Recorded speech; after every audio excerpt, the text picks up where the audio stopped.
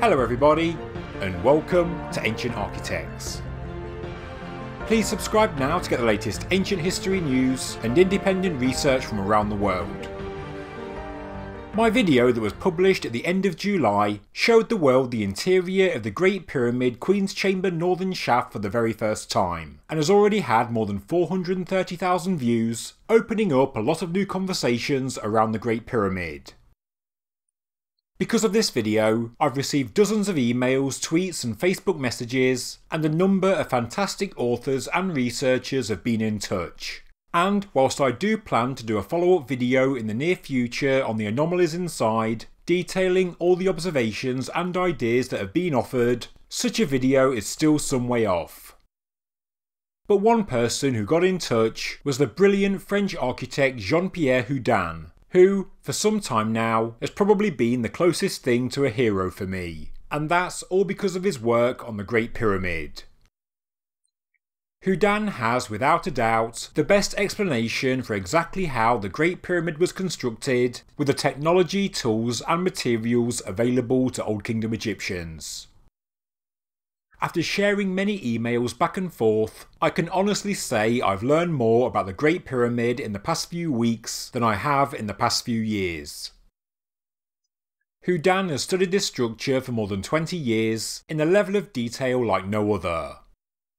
For example, in one correspondence, he showed me a diagram of the walls of the Queen's chamber, explaining why certain blocks have certain shapes and sizes, why cracks are in specific locations in the walls, how the load is spread, and so on. The level of detail is incredibly meticulous because his background as an architect has allowed him to see this structure in a very unique way. His work on the pyramid construction means he has been able to explain and incorporate every single feature and every single anomaly, and he has built a coherent, logical, and straightforward explanation. He has worked out how much labour would have been needed to build the Great Pyramid, how blocks would move quickly and efficiently, how the huge granite beams would reach their destination, and how long the project took to complete timing it stage by stage, fully understanding the limitations of human labour and ancient technology. Numbers are not plucked out of the air, but calculated based on evidence. It's logical, realistic, and believable. These days I am usually first to pick holes and find problems with Great Pyramid theories. It's what I have to do because I genuinely want to understand the truth and it's why I turn my back on so many of my early ideas from years gone by. Because, with more research and more knowledge, ideas have to evolve. Unless you are fully armed with all the information from day one, I fail to understand how any researcher doesn't evolve their ideas. But with my own speculative and critical mind, as of right now, I am still unable to find one fundamental problem with Houdin's work and I assure you I've certainly tried looking for one. With most Great Pyramid theories, the devil is always in the detail, but getting into the detail is exactly what Jean Pierre Houdin has done, leaving no stone unturned. If he encounters a problem or an anomaly, he doesn't quietly skirt around it and hope nobody notices, he takes it on and finds a logical interpretation, ensuring his construction model for the Great Pyramid evolves accordingly. He has constantly refined his work, and with each revision, his model becomes more and more credible. Understanding one part of the pyramid generally means you can understand another more clearly. As he said to me, the more I advance, the more it becomes clear the fat being removed. I still have a lot to learn from Jean Pierre Houdin, but you'll be happy to hear that in time, I will be sharing all of this information with all of you, the viewers of the Ancient Architects channel. It will be a huge project, a huge amount of work to be able to explain every detail of the Great Pyramid's construction, and I will attempt to explain it in a way that everyone, including people of different backgrounds with different levels of knowledge and understanding, can understand this work, but without glossing over any specific section. I will include all of the detail, but try and explain it in a way that everyone can understand. This could either be a huge documentary, or I think it might work best as a series, starting from how the land was prepared, all the way through to how the final capstone was placed on top, and explained within the limitations of the time and the known capabilities of the Old Kingdom Egyptians. The people responsible for the Great Pyramid were geniuses. Houdin himself is in awe of what they achieved, and after learning so much in the past few weeks, the picture is becoming clearer and clearer. The level of knowledge and understanding doesn't come overnight. It's from more than 20 years of detailed study by professional architects, who has analysed the chambers, corridors, and shafts of the Great Pyramid and modelled it block by block on computer software. Why do the courses of stone have varying thicknesses? Where are the ramps that were used to build the Great Pyramid? How did they lift these huge megaton granite blocks to above the King's Chamber? Why is there a big void directly above the Grand Gallery? How did they put the capstone on top? What are these strange sockets in the Grand Gallery? The questions concerning the Great Pyramid go on and on. Well, some people want exciting explanations, whether Egyptological or alternative, and yes, I do understand that, but personally, I just want logical and straightforward answers, and for all the questions I've asked Jean Pierre Houdin, I have to say I received just that a logical and straightforward answer.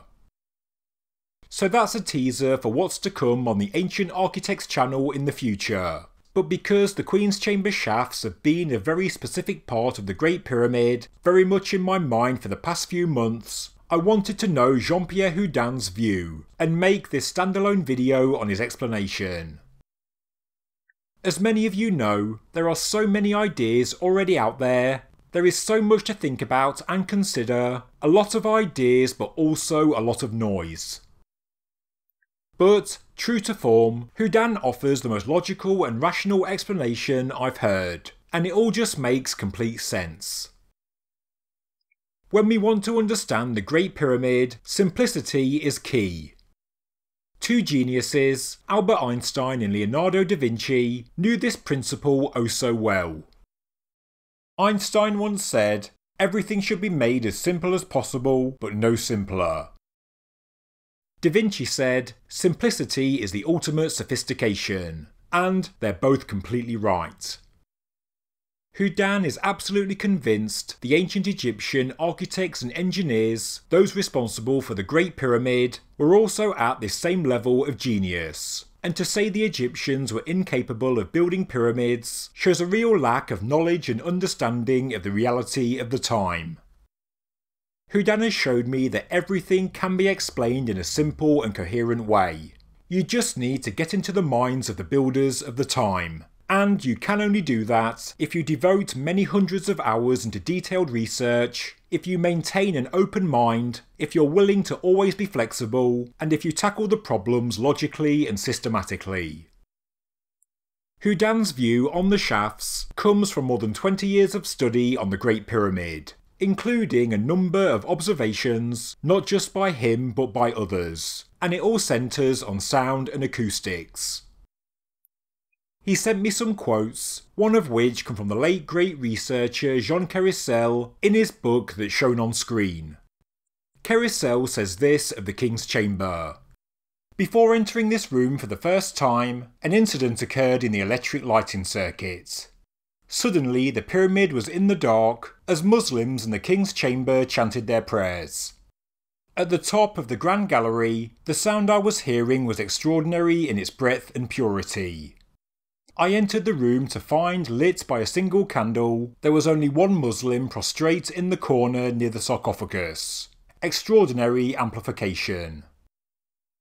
This told Houdin that acoustics were of great importance in the Great Pyramid project, something I know that many others have observed in person and discussed in books and videos. In 2008, Houdin had his own experience regarding the Great Pyramid acoustics.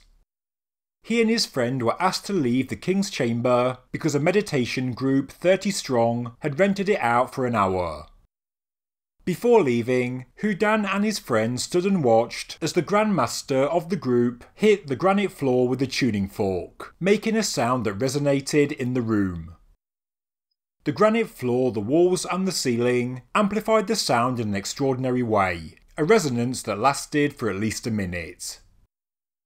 This group then began chanting before Houdin and his friend were asked to leave the pyramid. They did so, but stayed in front of the entrance on the north face, about 50 metres from it. Whilst they were quietly chatting, Houdin said to his friend, Do you hear that? Listen. The notes from the tuning fork inside the king's chamber could be heard from outside the pyramid, amid the jumbled voices of dozens of tourists around them. The sound was coming from the exit of the King's Chamber northern shaft, high up on the outer edge of the pyramid. They stood looking up and focused on the outlet, situated some 70 metres above the base of the structure. And the more they stared and focused, the more sounds they heard coming from it, including the chanting voices of the meditation group. Then everything stopped and a few minutes later, the group was seen leaving the Great Pyramid. It's strange because nobody else had noticed anything, and, as Houdin says, it's the kind of event that could only be noticed by someone who is very attentive and very much immersed in researching the finer details of the Great Pyramid.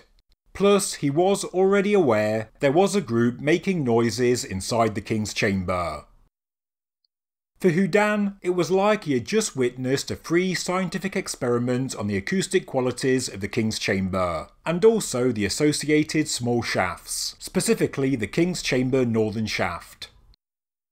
There was cast iron proof that this tiny shaft carried the human voice and the noise of the tuning fork from the King's Chamber through the pyramid and out, and could be heard some 50 metres away from the pyramid at ground level in amongst dozens of tourists.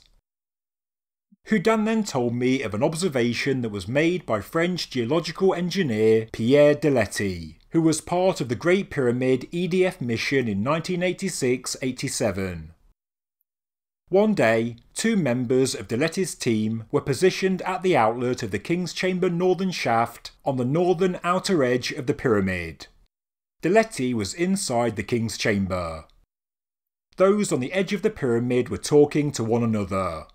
Deletty was confused, thinking he could hear his colleagues just behind him in the portcullis chamber. Then he realised their voices were being transmitted through the northern shaft and amplified by the king's chamber. So, what was Houdin's conclusion? It was clear that the King's and Queen's Chamber shafts in the Great Pyramid were in fact a means of communication. Communication during the pyramid's construction process.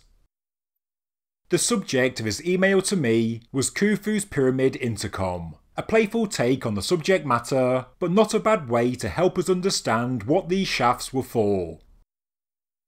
I have to say I do love this idea, I really do, being very similar to speaking tubes and voice pipes used on ships and in submarines in the 20th century. But as always, I was left with a number of questions. If they were used for communication, why were the two Queen's Chamber shafts sealed at both ends? How did they seal them inside the Queen's Chamber when the ceiling blocks were load bearing? I had more and more questions, and I have to say, Houdin did answer every single one. These shafts were a key part of the huge pyramid project. They were for communication during construction, although we can't discount the idea that the King's Chamber shafts also offered much needed ventilation inside the pyramid. And maybe on completion, they also served another spiritual religious function as well. But when building the Great Pyramid, they did have a very practical function communication. How they fit into the wider construction model is far too much information for this video, but for now it's worth noting that the Grand Gallery had a very important function in the building process, being part of a comprehensive counterweight system to hoist the large granite blocks of the King's Chamber and relieving chambers into position. The small shafts are situated very close to the axis of the Grand Gallery, and as you can see, the Queen's Chamber shafts end at the level of the rafters of the so-called relieving chambers. That's because they were in use for the placement of the granite beams via the Grand Gallery counterweight system. They really didn't need to go any higher. They served their purpose in the construction process, and then when they were no longer needed, they were closed up. The Grand Gallery counterweight mechanism would have required a team of workers on the south side of the pyramid and another team on the north, situated around the Grand Gallery. To put it simply, both sets of teams had to communicate with each other in real time, across a large distance, to ensure the blocks of granite moved into position without error. They did this from transmitter posts, which were basically the marked ends of the shafts. A voice or instruction could be carried through one shaft and heard by a person or number of people situated inside each chamber. In the Queen's Chamber, the level of the height of the openings in the north and south walls of both shafts is linked to the level of the head of the average Egyptian of the time. This person or people inside the chamber listened for instructions and then repeated them loudly and clearly, which was amplified sixfold by the incredible acoustics and then transmitted through the opposite shaft. And this is a system that does actually work. The two Queen's Chamber shafts also exited the Great Pyramid at the same level, around 61 metres, even though the north one does bend quite considerably, showing us the two shafts must have worked in tandem.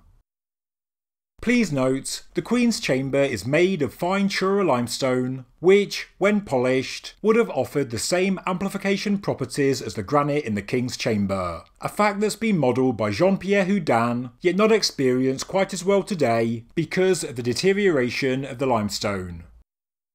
In the King's Chamber, the operator will be in a seated position as the openings are lower, this is because two enormous granite blocks cover the access corridor from the Grand Gallery, which forms two rows of blocks in height.